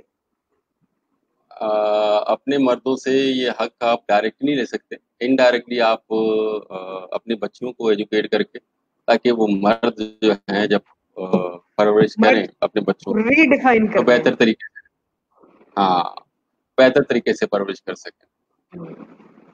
जो ये बच्चे आपके हाथ से निकल के जाते हैं जब यहाँ से हाई स्कूल से जाते हैं तो ये बहुत रोना धोना होता है जब वो जा रहे होते हैं। तो आपको भी आता है रोना बच्चे जा रहे हैं? हाँ। ज़ाहिर है ये एक साइकिल है तो आप दो साल एक साथ मतलब कुछ तो ऐसे बच्चे हैं जो प्राइमरी से यहाँ पर थे। आ, जब आप वो अलग होते हो तो एक फीलिंग सी आती है। तो ये तो एक नॉर्मल चीज़ है। पता नहीं कब मिलेंगे? अब तो यू you नो know, आगे एजुकेशन में जाएँगे तो टाइम नहीं होगा हमारे पास नहीं होगा उनके पास नहीं होगा। हाँ ये ये तो हाँ बिल्कुल ये तो है इसके लिए तो हम रेडी हैं क्योंकि बहुत सारे ऐसे बच्चे जो आपके साथ कनेक्टेड होते हैं बहुत सारे ऐसे बच्चे गुजर जाते हैं क्योंकि हम खुद जो हैं अपने बहुत सारे टीचर्स के नाम नहीं जानते मैं आपके सामने बैठा हूँ। बहुत सारे हमने टीचर्स जिन्होंने हमें पढ़ाया है नाम नहीं जानते उनके बहुत सारे अभी तक जहन में हैं उनके नाम। ये तो एक चीज़ है साइकिल चल रही है। ज़िंदगी इसी का नाम। ये जो बात है ना ये बड़ी इम्पोर्टेंट है कि एडल्ट्स टीचर्स पेरेंट्स ये सीखें कि when they have to let go of the children कब उन्हें जाने देना है? अब उड़ सकते हैं। अब अब अब नेस्ट छोड़ के अब घोंसला छोड़ के जा सकते हैं। अब जाए। हम ये नहीं कर सकते ना एज अडल्ट हमने हमारे टीचर्स शायद फिर भी कर लेते हैं, लेकिन आप लोगों का टीचर से जरा ज़्यादा ताल्लुक है ना अपने बच्चों से। आप मतलब उनके घरों में भी आपका इन्फिल्ट्रेशन है। आप उनके जाति मसाइल के साथ भी डील कर रहे होते हैं। तो जब वो जा रहे होते हैं तो दिल को एक धड़का सा तो होता है कि यार ये कर ले को मतलब बिल्कुल, जो आप जाने की बात कर रहे हैं, देखिए, अब प्रॉब्लम ये है कि as a common person of the society trust नहीं है सोसाइटी पे। इसलिए हम जो है एक्स्ट्रा प्रोटेक्टिव हो जाते हैं।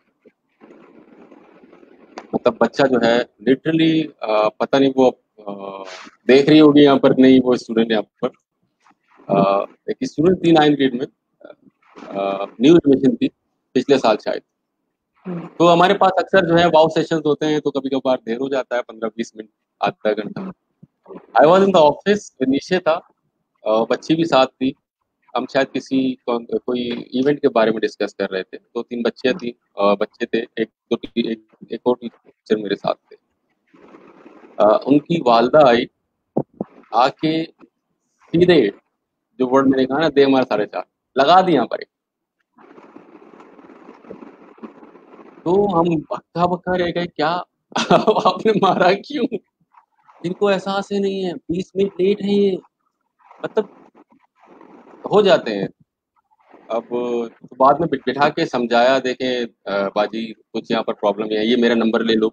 जब भी कोई मेरी गलती है इनको क्योंकि अब वाकई में इनका स्कूल इन, इनकी स्कूल जो है ऑफ़ इस टाइम होती है। मुझे फ़ोन करना चाहिए था आपको बताना चाहिए था लेकिन मेरे पास इन्होंने मुझे नहीं बताया मेरे पास आपका नंबर नहीं था। मैंने उनसे फिर नंबर लिया, फ़ोन नंबर शेयर किए हमने, क्योंकि वो नए दिन थे तकरीबन दस पंद्रह दिन हो गए होंगे बच्चों के एडमिशन के वक्त में। तो बहुत ज़्यादा वो सीरियस हो गई माँ जो है बहुत ज़्यादा सीरियस हो गई थी तो उनको बिठा के समझा के हमने उनसे नंबर लिया। अब नेक्स्ट टाइम सबसे पहले मुझे यही याद आती थी कि भाई इनको अभी फ़ोन करना है सबसे पहले, अगर कभी लेट हो दस पंद्रह बीस मिनट अगर लेट हो। ये चीज़ें हैं क्योंकि माँ फिर वही कह रहा हूँ, माँ को आप कैसे डिफाइन करेंगे? वो प्रोटेक्टिव है मतलब बाउंड्री प्रोटेक्टिव है तो हद के आगे, हद नहीं है। ठीक है? केयर करती है तो कोई हद नहीं। तो ये चीज़ें हैं। ये एक बड़ी इंटरेस्टिंग बात है। अभी मुझे से याद आया कि आप बैठे हुए हो वहाँ और अम्मा आई और धनान एक सबके सामने बच्चे को मैं हिल गई थोड़ी सी कि क्या हुआ होगा उस वक्त और बच्ची के साथ क्या गुजरा होगा। लेकिन मैं ये सोच रही हूँ कि कल हम बात कर रहे थे ऑफ़ दिस सिस्टरहुड ये सारी खातन आपस में बातें करती हैं, अपने प्रॉब्लम सॉल्व कर लेती हैं, एक दूसरे का सपोर्ट सिस्टम बन जाती हैं, और अपने आप को स्ट्रेंथन कर लेती हैं इंप्रूव कर लेती हैं रीवायर कर लेती हैं रीडिस्कवर कर लेती हैं। ये जो तीन चार आदमी है वहाँ, तीन चार तो नहीं है, काफ़ी सारे हैं। तो इनका भी इसी तरह का एक ब्रदरहुड है, या ये ये इस बिगर सिस्टरहुड का हिस्सा है? आप दोनों कह सकते हैं। लेकिन ज़्यादा फिट जो है बिगर सिस्टर सिस्टरहुड रहेगा। क्योंकि यहाँ पर सिस्टर ज़्यादा है ब्रदर से सिस्टर ज़्यादा है और उनसे जुड़े रहने में फ़ायदा भी है। कभी कभार बहुत होता है कभी मीटिंग में मतलब हम अक्सर तो बैठते हैं जब भी कोई चीज़ डिस्कस होनी होती है आगे। तो मैं इर्द गिर्द देखता हूँ मैं सिर्फ़ अकेला मैं ही नज़र आता हूँ बस। और बाकी सब जो है सिस्टर ही होते हैं। अक्सर अक्सर ही होता है कि मैं अकेला होता हूँ। हाँ अक्सर ये होता है कि मैं अच्छा लेकिन उसमें फिर ये भी तो होता होगा कि आपका एक्सपीरियंस सबसे ज़्यादा है। आपने आ, सबसे ज़्यादा काम किया हुआ है। आपने तो आप तो झंडा लेके आगे बढ़ जाते होंगे क्या अच्छा ठहरो मैं बताता हूँ। हाँ होता है ये। झंडा लेके अक्सर आगे बढ़ जाता हूँ फिर हाँ। कभी कभार कुछ ज़्यादा ही आगे बढ़ जाता हूँ फिर रोक लेता हूँ लेकिन अपने आप। हाँ, तो वो कहते हैं भाई रुक जाओ वापस चलो। ऐसे होता है? हाँ। हाँ हाँ बिल्कुल। अच्छा लेकिन मुझे मैम मैम क्या? मैम मैम तो अक्सर ये शिकायत करती है सुन तो लोगे सब करोगे अपने हम कैसे सुने? मैं कहता हूँ, भाई, क्या कर सकता हूँ? जो फॉलो कर रहा हूँ, कोशिश कर रहा हूँ। कोशिश तो कर रहा हूँ, कुछ तो करने नहीं देती। दे मार साढ़े चार तक तो करने नहीं दे रही अब और क्या करूँ? अच्छा मुझको ये बताओ कि, भाई, ऐसा तो नहीं है ना कि आपके प्रॉब्लम्स नहीं है। ये भी तो एक तस्वर होता है ना कि एक तो टीचर है आदमी है इसका क्या प्रॉब्लम है? इसको तो कोई प्रॉब्लम ही नहीं होगा। इसको तो हर तरी, हर तरीके का वो मिला हुआ है। एक यू नो सपोर्ट भी है हर चीज़ की छुट्टी भी है ये पर ऐसा तो नहीं होता। कितने प्रॉब्लम्स होते हैं। तो ये जो सारा सिस्टरहुड है इसके साथ कम्युनिकेट कर सकते हैं आप फ्रीली अपने प्रॉब्लम्स अपनी बातें कर सकते हैं हाँ। यार लिहाज रहता है कि यार ये नहीं समझ आएगा इनको ये नहीं बिल्कुल बिल्कुल कुछ हैं ऐसे। जो सिलेक्टेड है हम्म। करते हैं शेयर शेयर करते हैं बातें प्रॉब्लम जो होती हैं। आप जब मैं खुद देख रहा हूँ कि ये चीज़ बच्चों पे कितना मतलब असर कर रही है कि आप सिर्फ़ उनको सुन रहे हो और वो कितना रिलैक्स होके मतलब जाते हैं। बहुत बड़ी चीज़ है कोई आके आपसे कोई बात शेयर करे और आप सुने। तो कभी कभार हमें भी जो है अपने आप को थोड़ा सा हल्का करना पड़ता है बातें करनी पड़ती है। तो हैं कुछ ऐसे सिस्टर्स जिनसे डिस्कस करते हैं? लकी हो भाई। नहीं होते लोगों के पास ऐसे लोग ना जिन्हें वर्क एनवायरनमेंट में आप काम भी कर सकें बात भी कर सकें कोई सुन भी सके।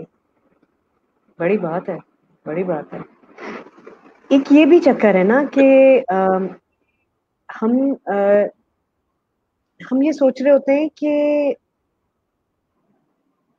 भाई जैसे आपने कहा कि डिफेंस से एक हाथून आई है सर पे यहाँ चश्मा लगाया हुआ है। ये वाला ये वाला हाँ। डिफेंस मैडम आई है। डिफेंस मैडम आई है। तो ये वाला बैरियर कैसे क्रॉस किया था? कि यार ये तो सब ये जो लड़कियाँ आ रही हैं ये कोई ग्रामर स्कूल से आ रही है कोई कहीं से आ रही है तो हर बार वो क्रॉस करना पड़ता होगा ना कि मैं इसको ट्रस्ट कर सकता हूँ इसको पता ही क्या कह रही है इसको पता ही क्या कह रहा है। ये हर बार जो बॉन्ड बनाना पड़ता होगा। बहुत सारी ऐसी चीज़ें होती हैं जिनको टाइम लगता है इतनी आसानी से नहीं बनता। ठीक है? मैं शायद अब हूँ वो शायद पिछले साल नहीं था इतना ओपन इतना जो है मैं बहुत लोग कहते थे बहुत रिजिड रूड है इससे बात नहीं करता। बहुत टाइम लगता है ओपन पर्सनैलिटी इंट्रोवर्ट इंसान था मैं और अपने ही दुनिया में मगन था। वो जो हम्म। एक अलग बच्चों के साथ कनेक्शन है उसे आप साइड पे कर लें वो तो एक अलग काम है। बाकी पर्सनली जो है मैं बहुत ही रिज़र्व और मतलब मेरी उस पर्सनैलिटी में थी नहीं कि इतनी जल्दी ओपन हो जाओ किसी के साथ और गुल मिल जाओ। तो जिसकी वजह से लोग फिर शिकायत करते थे ये पता नहीं क्या समझता है अपने आप को क्या है क्या नहीं। तो ये चीज़ें हैं। हाँ तो अभी चेंजेस आ रही हैं। मैं कह रहा हूँ ना मैं अभी प्रोसेस में हूँ रीवायर कर रीवायर रिवायरिंग के प्रोसेस में हूँ। अब देखो चल रही है अभी चल रही है। वाह क्या बात है। सबीरा आप कुछ पूछना चाहती हैं? जबार से मैंने कितनी लंबी बातें की जबार कभी किसी से की इतनी लंबी बात? मैम से अक्सर कर लेता हूँ। लेकिन काफ़ी से बात। एक मिनट मेरा मेरा I have to put my charger oh God बंद हो जाएगा। अच्छा okay okay okay she has to get her charger आज सबको चार्जर और बिजलियों के मसाइल हो रहे हैं भाई। बस गर्मियाँ आ गई शामत शुरू। गर्मियाँ गर्मियाँ तो थी पहले भी थी लेकिन अब कुछ ज़्यादा ही हो गई है शायद। अब असल में वो कारखाने और इंडस्ट्रीज़ वगैरह खुल गए इलेक्ट्रिसिटी का प्रॉब्लम इसलिए आ रहा है। शायद ज़्यादा एकदम हो गया हाँ सही कहते हैं। लोड ज़्यादा हो गया। जी मैम। नहीं क्या मैं तो बस आया इतना मुझे मज़ा आ रहा था सुनने में मुझे क्यों बुलाया? कितने मज़े की बातें करता है मुझे बहुत मज़ा आया। मैं सोची थी बहुत गंभीर सा लड़का होगा ये इतना गंभीर बिल्कुल भी नहीं। कितना हल्का फुल्का कितना अच्छा सा। बस। ऐसे जैसे एक हीरा मिल गया हमको एक। बस। बच्चे बच्चे इतनी मोहब्बत इससे करते हैं ना बस वही सबसे बड़ी बात है। स्टूडेंट्स मोहब्बत करते हैं हर बात इससे करते हैं अपने दिल की। और ये तो दौर ही सेल्फ लर्निंग का दौर है। हम क्या पढ़ाएँगे बच्चों को? बच्चे खुद ही पढ़ लेंगे। जो पढ़ना है उनको वो इंटरनेट पे जाके पढ़ लेंगे। अपनी किताबों को हर हर कोर्स की किताब नॉवल की तरह पढ़ी जा सकती है। जैसे नॉवल हमारा काम तो सिर्फ़ है बच्चों को मोटिवेट करना और इंस्पायर करना। अगर वो हमसे इंस्पायर्ड रहेंगे हमसे हमसे मोहब्बत करेंगे तो उस सब्जेक्ट को खुद ब खुद पढ़ लेंगे। तो वो सब्जेक्ट उनको अपने टीचर की याद दिलाएगा। और टीचर सारी मेहनत कर रहे होते हैं कोर्स पढ़ाने पे और इंस्पायर करने की कोशिश नहीं करते। इंस्पायर स्टूडेंट बाकी वो खुद कर ले। और इस दौर में तो और ज़्यादा। सब कुछ वो खुद कर ले तो ही उसको इसीलिए है कि वो अपने टीचर से बोलना बात करना सुनना तहमुल पेशेंस विजडम प्यार करना रोना ये सब सीखे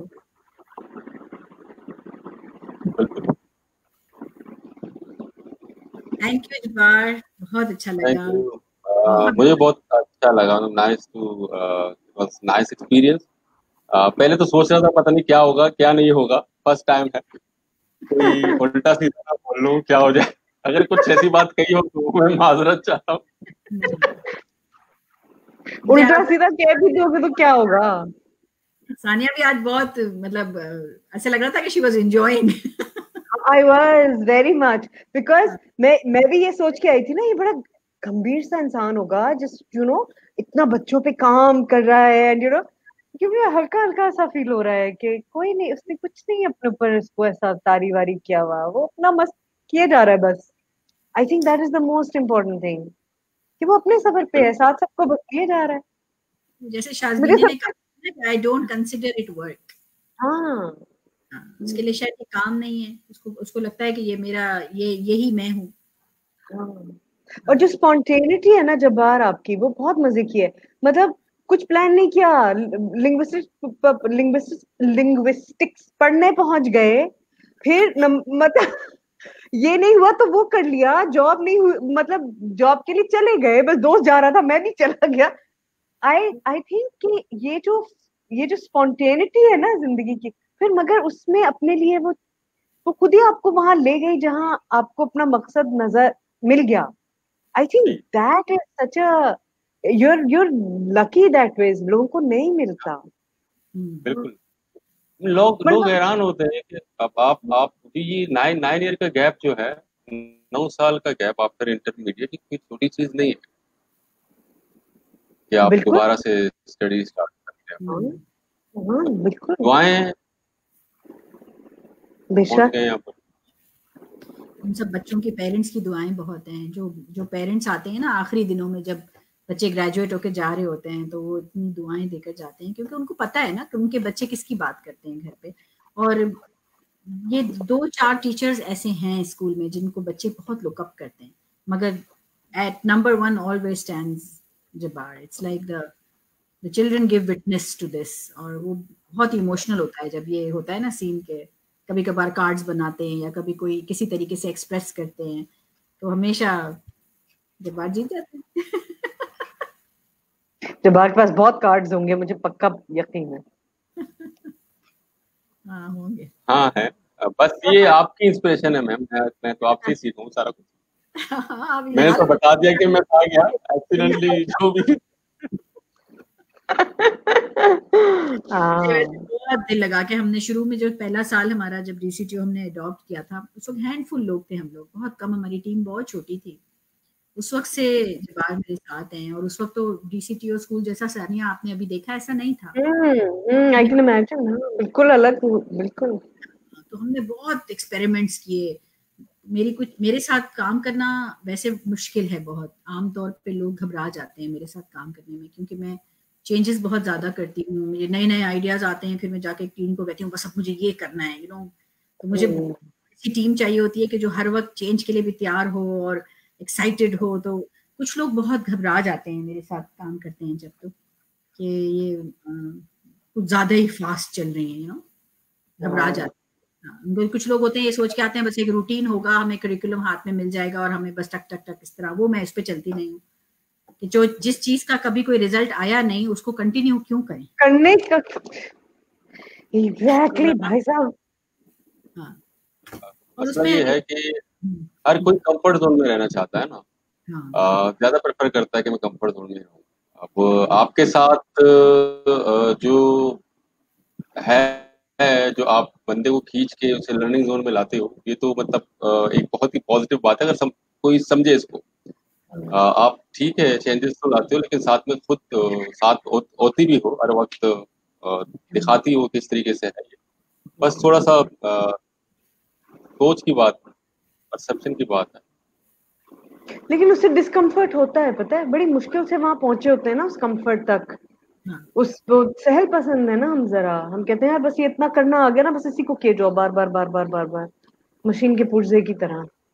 तो ये डिस्कम्फर्ट में तो डालता है आपको। बल्कि ये एक एक क्यू है कि जब आप ग्रो कर रहे होते हैं और जब आपको लगता है कि सब कुछ बिल्कुल सही हो गया कंफर्ट जोन में आ गया इसका मतलब ग्रोथ रुक गई आपको अपने आप को हर वक्त किसी मूविंग कहते हैं ना चलते पानी की तरह रहना चाहिए। वो साफ़ होता है। चलता पानी जो होता है ना ठहर जाओ तो फिर उसमें गंदगी आ जाती है। तो ठहराव एक अलग चीज़ है ठहराव। पेशेंस एक अलग चीज़ है। लेकिन अपनी अपनी आइडियाज़ में रुकना रुक जाना तो फिर उसके बाद तो डेथ हो जाती है ब्रेन की। बिल्कुल। खास खासकर इस दौर में मतलब जो चेंजेस इतनी रैपिड चेंजेस आ रही हैं मतलब पता नहीं चल रहा है कि क्या है। हम्म। आप तो रोक नहीं सकते। आपको चलना पड़ेगा। चलना पड़ेगा। रह जाएँगे हाँ। बिल्कुल सही बात है। Thank you Jabbar thank you thank you बहुत बहुत मेहरबानी। ठीक है। इट वाज नाइस मीटिंग बहुत अच्छा लगा। Thank you thank you so much thank you thank you